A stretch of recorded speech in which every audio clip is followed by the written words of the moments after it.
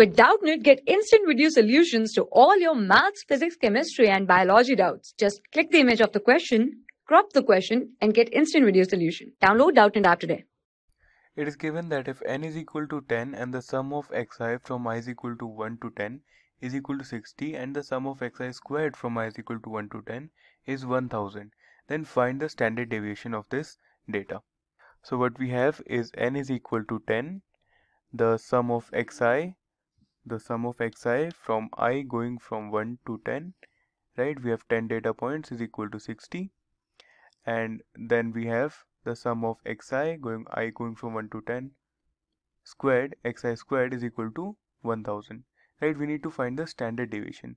The formula for the standard deviation is simply the square root of the summation of xi squared divided by n minus the summation of xi divided by n whole squared right? So let us calculate what this is.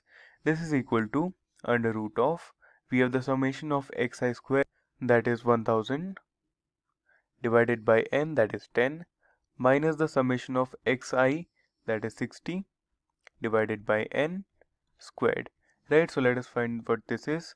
This is equal to the square root of 100 minus 36 which is square root of 64 which is equal to 8 right so the standard deviation for our data is 8 and this is our solution For class 6 to 12, IIT JEE and NEET level. Trusted by more than 5 crore students. Download Doubtnut app today.